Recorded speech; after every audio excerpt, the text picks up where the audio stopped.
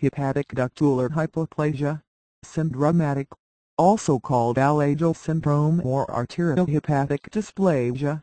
This is a genetic disorder characterized by jaundice in the newborn period, liver disease with cholestasis, peripheral pulmonary stenosis and unusual face. Children with Alagille syndrome usually present with jaundice yellowing of the skins and whites of the eyes in the newborn period. Cholestasis stagnant flow of bile from the liver then develops with curettage itching stools without the usual yellowing brown color, an enlargement of the liver and spleen. Peripheral pulmonary stenosis is a form of congenital heart disease CHD. Other types of CHD also occur.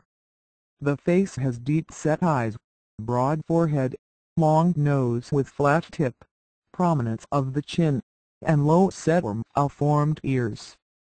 The outlook prognosis depends upon the degree of severity of the CHD and the liver disease it can cause liver failure, the condition is an autosomal dominant trait meaning that the gene for it is on a non-sex chromosome. An autosome and a single edition of the Alagille gene is sufficient to produce the disease.